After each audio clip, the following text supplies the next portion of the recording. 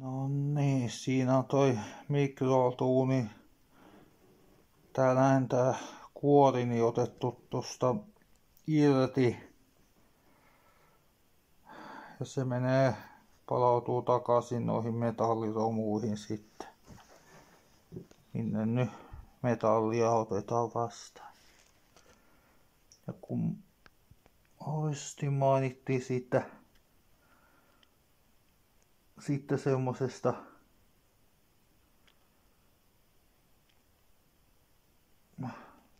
siitä semmoista hemmetin isosta muuntajan mötikästä. Niin tossa nyt on semmonen sitten nähtävissä suoraan tossa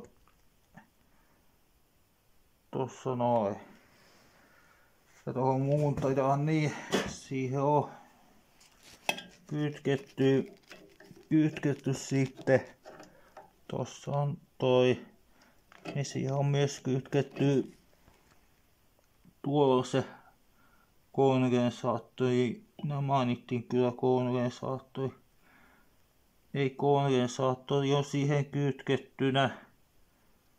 Tuossa on noin liitännät.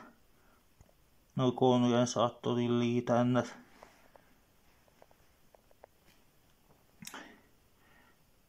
Tuossa no lukee kyllä tuossa muuteessa tuommoinen ihan tuommoinen aiheellinen varoitus. Jo oikein testi ja täältä katsoin sillä kuin hyvin luettaisi.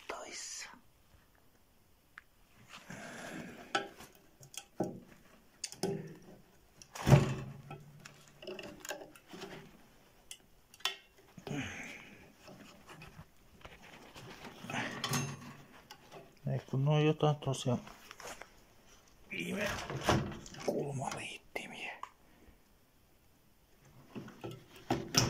No niin, nyt noin. Noin. Kulmaliittimet on sitten otettu pois.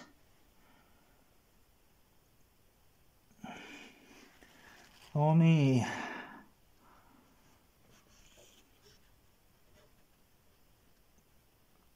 Tuolla on se aiheellinen varoitus.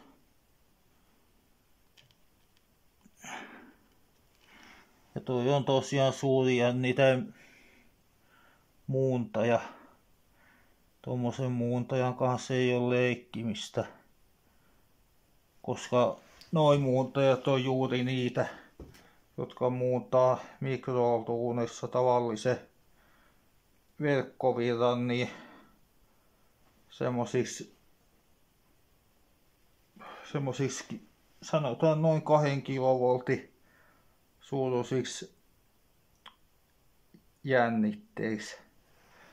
Äh, tuli äsken sanottua verkkovirta, mutta siis kumminkin muuntaja, minä korjaan tuo äsken se, täytyy se korjata, että Eli muuntaja tosiaan niin muuntaa semmoisen verkkojännitteen niin, niin tota, noin kahden kilo voltin suuruiseksi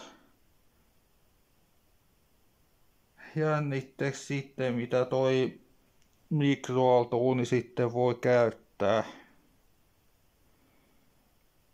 Ja se on kyllä se jännite niin suurta suurta luokkaa, että semmonen 2 kilovoltin suuruinen jännite osapuille, niin jos jo pienempikin, niin voi jo ajatella mitä 2 kilovoltin suuruinen jännite, eli 2000 voltin suuruinen jännite sitten saisi aikaa.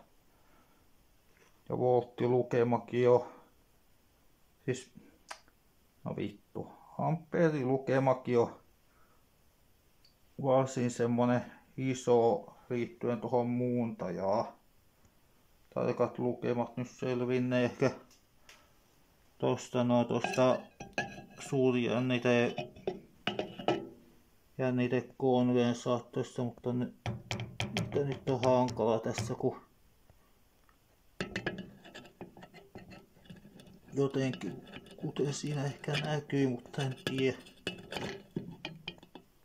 Tuossa on nämä tuulettimen siipi vähän eessä. Jotain siinä nyt näkyy. Ei kaikkea. No, kumminkin vielä, kumminkin tuohon kondensaattoriin liittyen, niin tuosta kuten näkyy, niin sitten on yksi tuommoinen kohta, niin, niin se on tuosta tuommoisen muovisen kaulusosan sisällä. Tuo toinen liitin. Ja siitä menee sitten tuommoinen tuommoisen jutun kautta, minä en tiedä missä noita sanotaan, sanotaan en oikeastaan ikinä tiennytkään. Joku oli, mikäli ei vastusta semmonen, vaikea nyt sanoa, mutta kumminkin. No, se menee suoraan tuohon runkoon.